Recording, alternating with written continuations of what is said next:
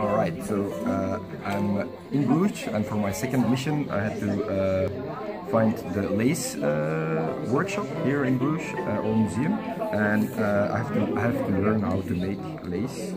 And uh, so this is the linen stick, and it goes like like this. So you can come a little bit closer with the camera. Thank you. So two over three, two and four over one and two, and then the two goes back over three, and continue like this.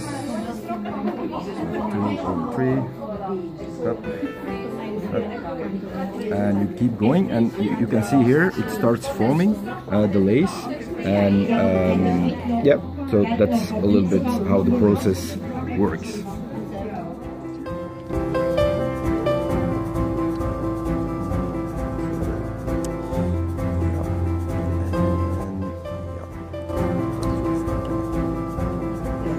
Really cool. Eh, but here, how is this? war mal ein Muster. This is uh, Germaine, and uh, she's been uh, stitching uh, lace uh, since she was seven. Look, this is amazing. Wie maak ik? 1, 2, 3, 4, Yeah, 5, 6. En nu vierde. yeah.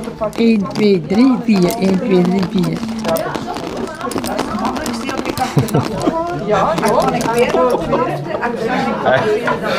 That's that's uh, yeah impressive. Really, very.